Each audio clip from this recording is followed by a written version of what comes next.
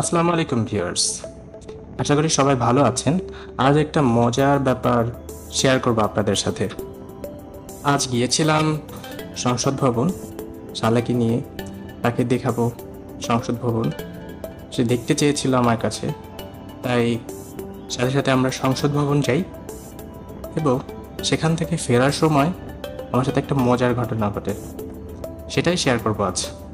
দেখতে থাকুন পুরো ভিডিও। এবং সবাই কমেন্টসে জানাবেন কার কেমন লাগছে। দেখতে থাকুন।